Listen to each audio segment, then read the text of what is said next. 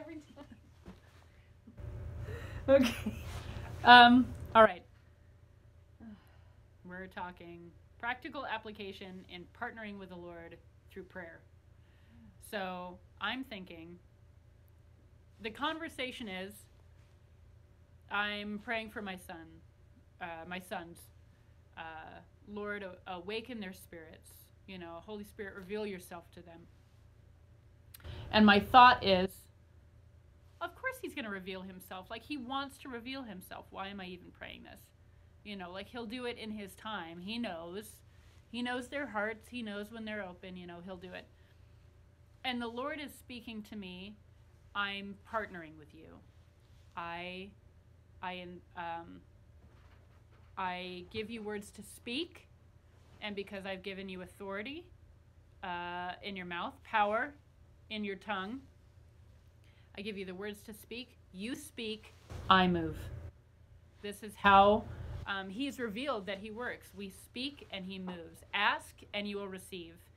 Uh, anything that you ask for my from my Father in my name, it'll be given to you. You know. Um, so why are we asking when we know he's given us everything? Like he's he's given himself to us. He's given his resources to us. So why do we have to ask?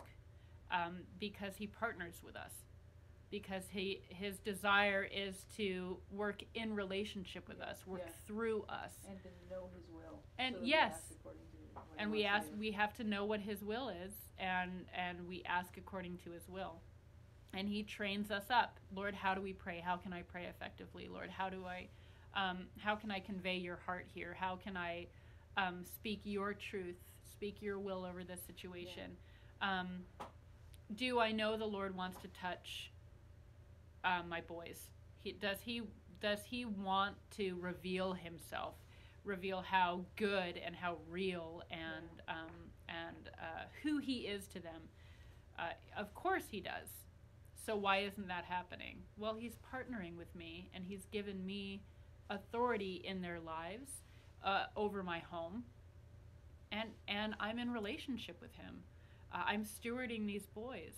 So when I partner with the Lord in surrender and in relationship with the Lord, and I go, okay, Lord, this is what you want for yes. my boys. Yes. So I'm going to declare over my boys Yes. this, this, and this. Lord, you love them. You're pursuing them. Lord, reveal your heart to them. Uh, uh, give them encounters with you. Uh, fill their um, fill their mind with dreams from you, Yeah. Lord, um, uh, and interpretations. Lord, give them uh, a sense of your presence. He goes, okay, yeah. and does it. And the the things that I'm praying are inspired from relationship Yes. in him, from who I know him to be, and and what he's conveying about these Yeah. about my boys. So um, and he can only do that through like he you're that connection with his boys hmm which are your offspring your Yeah. boys hmm he's making that connection and revealing himself you're his you're their covering. Yeah, you know? And that's that you know and, and i thought too is that's part of this taking dominion of the earth. The the what he gave adam this Yeah. is a continuation of adam. You know you speak the name of that animal and it will be. Yeah, same you know that now becomes that animal's identity. Mhm. same I is it the same thing as what we're talking about with your kids? That's a really good point. Of the what I speak over my boys, I have authority to speak. We have power, Yes. and and we talk about that like we're driving past the construction work on. Um, that road and Cameron's like, that's gonna take forever, and I'm like, watch your mouth, son. Like, don't speak that. It'll be done this year, in the name of. Jesus. You know, right? I, that's government work. It's gonna take years to do it. Well, maybe not in the name of Jesus. yeah. So what I speak over my boys holds weight and power because the Lord has given us. Why else would He say the um, the tongue has the power of life and death? yes Unless it actually had the power of life and death. You know, we can't be flippant with what we Mhm. speak. And if we're surrendered with the Lord, if we're surrendered to the Lord and in relationship, we speak what He speaks. And that's Powerful. powerful. But if we're not in relationship, if we're disconnected from the Lord, even as Christians, disconnected from the Lord and go, well, he's a lost cause. Watch what you speak. You know, Car- you know, Cameron's just a mess. He's he's struggling. It's just it, like he's got to he's just going to struggle with this. No.